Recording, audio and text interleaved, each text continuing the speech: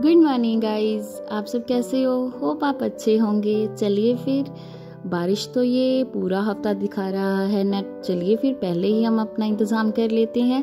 सबसे पहले मैंने ये प्याज को अच्छी तरह से धोकर बीच में से कट कर लिया। अब मैं फोक की सहायता से इसके सारे स्लाइसिस अलग कर रही हूँ। ये देखिए अलग हो गए।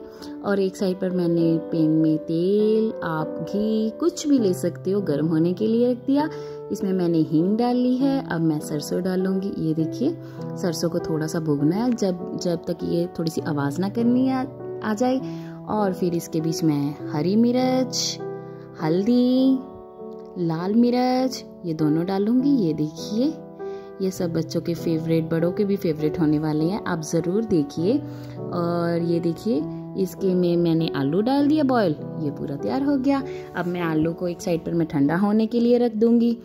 और फिर मैंने एक पेन लिया, जिसमें मैंने बेसन, हल्दी, लाल मिर्च यहाँ पर मैंने कस्तूरी लाल मिर्च का प्रयोग किया है। आप मिर्च का भी प्रयोग कर सकते हैं।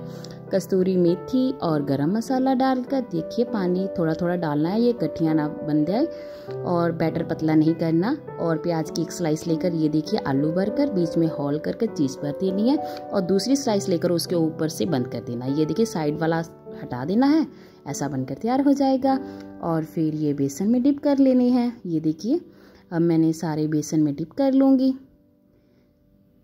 ज़रूर बनाकर खाइएगा आप भी। और फिर एक साइड पर मैंने तेल गर्म होने के लिए रख दिया। लीजिए, बहुत अच्छा रंग आएगा इनका। ये देखिए कितना अच्छा कलर आ रहा है।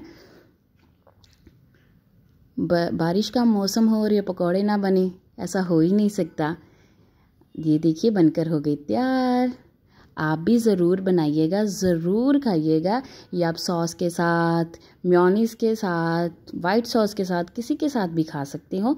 बहुत, ये देखिए चीज़ कैसे आ रही है बाहर। अगर आप मेरे चैनल पर नए हैं तो प्लीज़ सब्सक्राइब कीजिए। ये देखिए। मेरा मिशन आपको सिर्फ़ आसान चीज़ें सिखाने का है।